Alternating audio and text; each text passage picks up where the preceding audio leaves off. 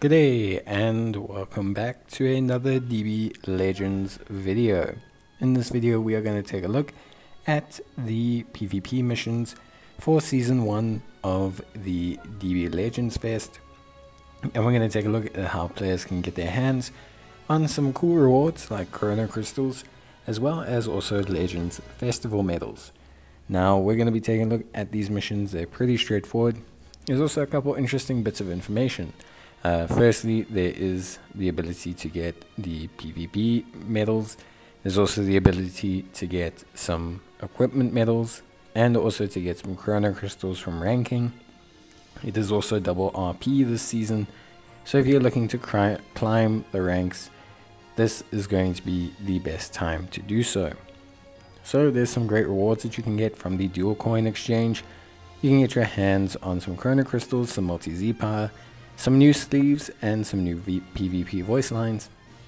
You can find all of this under the exchange section.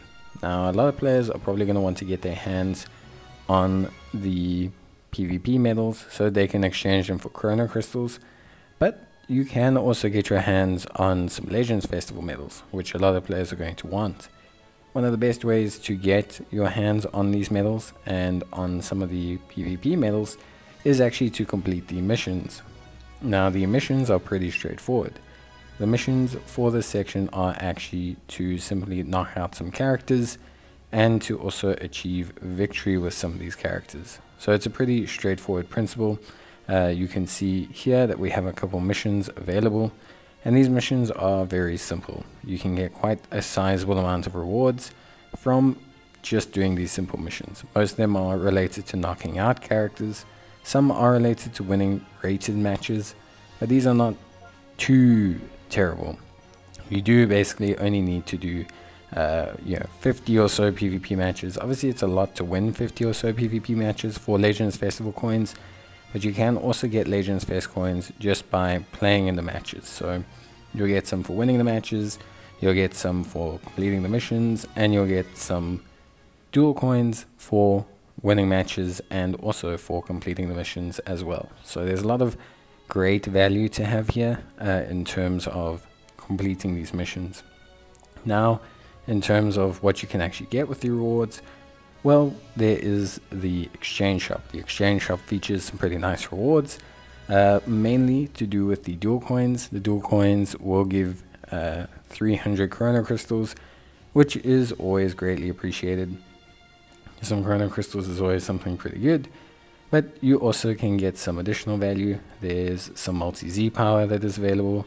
There is energy uh, that is also available. There's yeah, some soul exchange metals that you can get. There's just some pretty useful tools for people that are interested in grabbing some resources. So yeah, pretty straightforward stuff. I would say at least. Obviously, yeah, to cut a long story short, I think most players are in it for the Chrono Crystals and gathering some of the Legends Festival coins. So it's all pretty good stuff. There's no Legends Limited Z power this time, uh, but pretty straightforward. To do all of this, you are going to have to do rated PvP. Rated PvP can be accessed from the PvP screen. And yeah, it's pretty simple. All you have to do is just basically play. Now the thing is, if you lose, you'll be knocked down in ranking. If you win, you'll go up in ranking. It's double RP, so you can literally lose like five matches and win one, and you'll probably still go up in ranking. So feel free to really try and do a grind into ranked PvP, and you should have a good time. That's everything you need to know, and I hope you enjoyed the video. And I'll see you guys next time. Bye.